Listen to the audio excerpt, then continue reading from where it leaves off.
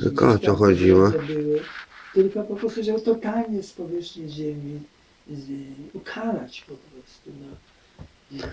Ale skąd mieli to Amerykanie? Przecież Ameryka jest daleko niż Niemcy. Ale to było już pod koniec wojny. Co? To już było w 45. No ja wiem, ja wiem, ale to oni mieli może gdzieś w, w Szwecji bazę. Jakieś bazy mieli oczywiście. No. Bazy mieli. Mhm. No i stamtąd. I to był straszny ogień, popalili i to, co mówisz, Drezno, Hamburg? Tak. Naloty dywanowe, czyli nic się nie ostało. I, Nic? I, no wiesz, y, nie rozróżniali w ogóle wojska od, no trochę jak Wietnam. Aha, rozumiem. Wojska od, Od cywilów. cywili, A później płaczą, że Niemcy niszczyli Warszawę, no ale sami się po, podobnie zachowywali później. A co narzekali Niemcy gdzieś to? Y, No tak, nie, Niemcy nawet książki na ten temat piszą, nawet polski film powstał. Że te naloty dywanowe były. A wiesz, że nawet polski film powstał na ten temat? Mhm. No jaki? Tylko ukrywają go, ale jest taki film. I dziś w nocy umrze miasto. Dziś w nocy umrze. Nie wiem co tu ukrywać. Jeżeli to jest prawda. kawałek historii, prawda? W I potrzebna, W prawda? filmie występuje Tyszkiewicz i, i ten drugi taki słynny aktor y, Andrzej, Andrzej, Andrzej, przyjaciel Wajdy Łapicki. Mhm. Właśnie oni mają główne role w tym filmie. No są takie, widzisz, filmy poukrywane, a nie reżyser-. Reżyser ma sympatie niemieckie. Mhm. On się nazywa Jan Rybkowski. Mhm.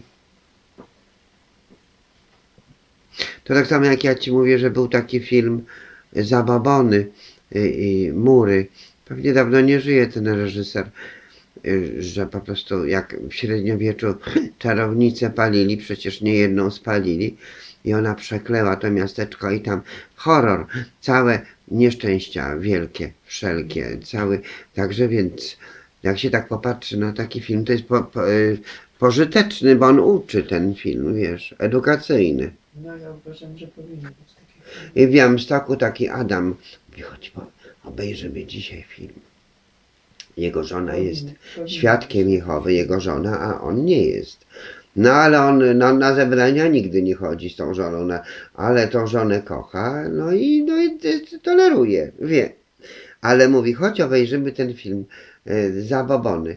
I słuchaj, poszedł ksiądz piłować drewno do tartaku, nie do, do takiego chlewka, bo to było prywatne. I tam piłą, ta piła wyskoczyła z zaczęła po tym księdzu jeździć. Krew, słuchaj, okropne. A ja mówię, dlaczego księdza? Czy jakieś duchy, czy nie? Duchy To- z to morza go z, wyskakiwały za, za, za głowę, za gardło, łeb ci urwało z, z mola, z pod wody, ciągło ciebie do wody. I tak było nie, siedem nieszczęść i nie wiadomo o co tu chodzi. I na końcu filmu pokazuje, jak wrzeszczy czarownica jakaś. Mówi, "Aaa, przeklnę to miejsce. A oni ją palili na stosie, to kto? No Kościół. No to więc to ten film taki był śmieszny. Ja mówię, słuchaj Adam, ty właściwie robisz dobrą robotę. Rób tutaj kino, zapraszaj No, ludzi. oczywiście. No i Ja, edukacja. ja jakbym miał jakąś kawiarnię, Dużo krwi, dużo krwi. był właścicielem jakiejś kawiarni Muchy. i to mówię Ci, taki bym program ułożył, No. że wierzę, że co najmniej nikt by yy, pusta sala by nie była. Lepszy jak tej sowa I- i- program. No i, i nawet taki tytuł mam też o czarownicy, który kiedyś widziałem i Mhm. mi się bardzo podobał. Mhm. Ożeniłem się z czarownicą. O, Bardzo dobra komedia amerykańska z lat 40. i ona, ta żona jego, coś praktykowała. Tak, miał żonę, taką Mhm. czarnowłosą, normalna taka żona, a później zjawiła się u nich w mieszkaniu taka szałowa blondynka. I ona była czarownicą. Ale nie ta czarnowłosa żona. Nie, nie. I, I taka gra była pomiędzy żoną, jego przyjaciółką, bo chyba nie kochanką, Mhm. i właśnie mężem, a film fantastycznie się zaczynał. Gdzieś w głębokim średniowieczu spalili czarownicę, czy do jakiejś butelki ją wsadzili później. No klechy to zdolne są, one Yy, do octu najpierw wielki i pomniejszoną do butelki. Zarys wieżowców, Mhm. być może Nowy Jork, Mhm. San Francisco. I taka cudowna aktorka, bardzo piękna, przedwojenny, to był film wojenny, z czasów wojny. I ona się nazywała tak z angielska Weronika Lake. Mhm. Lake się pisało. Mhm. Lake to nie wiem, czy to nie jest jakieś jezioro. Jezioro jest, lake. Mhm. O, Pisze dobrze, się lake. dobrze powiedziałem. That's right, okay. A ja nie znałem wtedy angielskiego. Mhm. Dlatego na całe życie zapamiętałem tą wersję lak. Ale Mhm. Lukowiecki mi trzy razy zwrócił uwagę, mówi ten krytyk filmowy, Andrzej, to się nie mówi laky, tylko lake. Mhm. A ja mówię, panie redaktorze, ale ja się uczyłem angielskiego i wiem, co to znaczy na przykład, jak się czyta wyraz angielski. Mhm. Ale w związku z tym, że ja to w szkole podstawowej widziałem, to ta wersja utrwaliła mi się prawie na całe życie. Mhm. Ale po wielu latach się już wyuczyłem. Ciężko, bo jest nawyk. Nawyk ciężko z głowy wypędzić. Ale już teraz mówię dość śmiało Weronika Lej. Ale nigdy nie powiem familii Life. Ale to, je, to dość Bo często już u nich te są Bo już wiem. imiona, że nazwiska jako rzeczowniki. Life się czyta jako life. Życie, oczywiście. A ty znasz coś takiego jak nazwisko y, Ellen White? Piosenkarka. Nie. O, całkiem co innego. WH, IT, coś tam. To jest prorokini adwentystów, święta adwentystów i ona przepowiedziała trzęsienie ziemi w San Francisco. Napisała książkę ogromnie grubą, Wielki Bój. I Jakbyś, co, sprawdziło się? tak, A prorokini, wiesz, że ja słyszałem o tej książce? Wielki Bój, bo Taka oni, duża, duża, duża. I różne te rzeczy takie są tam opisane. Pierwsza część jest najciekawsza, bo tam o średniowieczu masz. Jak te czarownice palili na tam oczy. Bo tam dalej te, też jest tam dużo apokalipsy tłumaczone dalej. Ale na początku, jak człowiek przeczyta, to będzie mu to wszystko bliskie. Ile Kościół w średniowieczu, i- bo ona pokazuje historię, ile zła uczynił. Się historię kościoła. Jak palili, mordowali, katowali ludzi, którzy cokolwiek z prawdy chcieli, no to tak oni po swojemu, adwentyści, to są podobni różnym grupom, ale potem już dalej apokalipsę też tłumaczy. Ale, ale tego typu kościoły są bezwzględne. Dlaczego?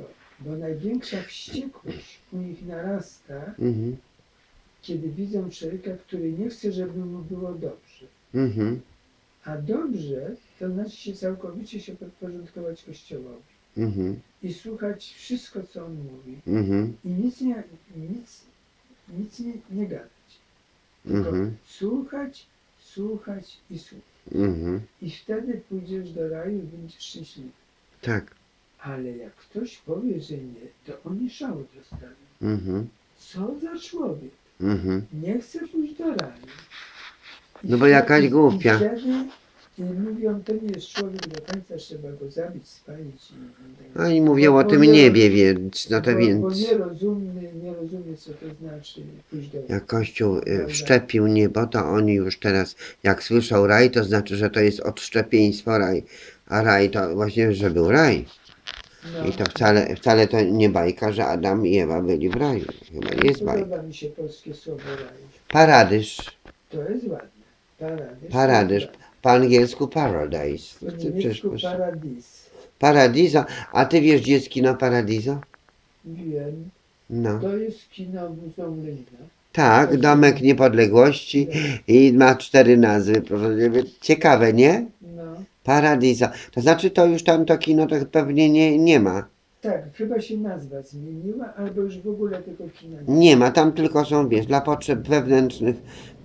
A ja kiedyś miałem kolegę w tym, w tym kinie, to mnie wpuszczał niedawno. W latach 90. A, ten, te kino Paradiso no. wzięło nazwę od takiego włoskiego filmu pięknego Cinema Paradiso. I oni wzięli tą nazwę. z tego filmu. Myśmy całą klasą byli tam na lalka, pan Wołodyjowski w tym kinie. Całą klasą. Piękne filmy i takie pożyteczne. Ja w wielu kinach byłem w Warszawie, ale chyba nie we wszystkich. Jeszcze. Mhm. Ale jakbym wziął stare gazety, to bym sobie dokładnie przypomniał, co do sztuki, w których kinach byłem. Mhm. Byłem w kinie Mewa, Mhm. Albatros, Szpak, Mhm. 1 maja, Kino Świat. I to takie ważne kina. Atlantik, Bajka, Skarpa, Kino Przyjaźń, Kino Młodej Gwardii, Kino Wiedza, Kino Bac. Kiedyś to było obok. Mhm. Szkoda, że go nie ma. Teatr jest. A było takie kino. Tam Skarpa, kino Skarpa było. No tak, najważniejsze w Warszawie kino. Najważniejsze? To było najważniejsze kino. Tam się odbywały światowe festiwale filmowe.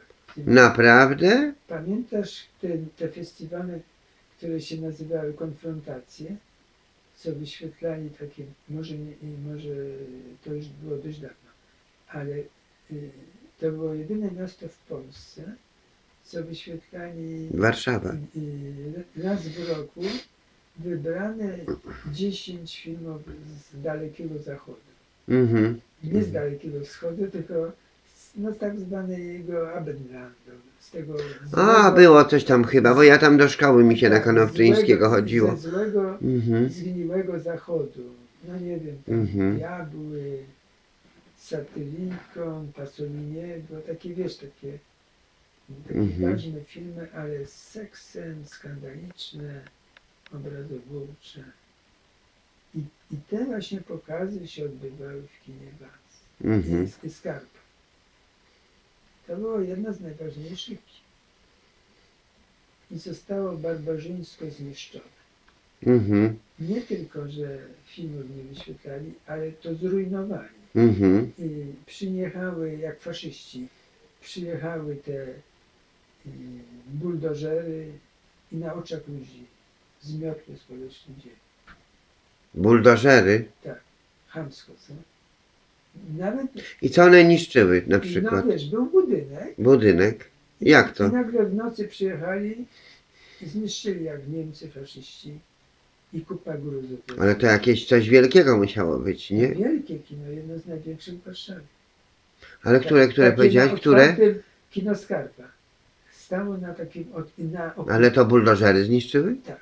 W czasie wojny. Nie, y, w 96 roku czy którymś. Niedawno? Tak. A, jak niszczyły, no tak, Tak, to tak. możliwe. No. Ja tam do szkoły mi się na Konopczyńskiego biegało, przez to kino. Wiesz, kino różnie. Relaks, kino relaks zamknęli, Mhm, ale tego kina nie zniszczyli, mhm, bo nie mogli. Mhm, bo ono jest wbudowane w mhm. kamienicę, A no właśnie. a tam to stało jak domek na ferii na skarpie. Mhm, No pierdolnęli te kino. I zbudowali jakiś apartamentowy Mhm. wieżowy.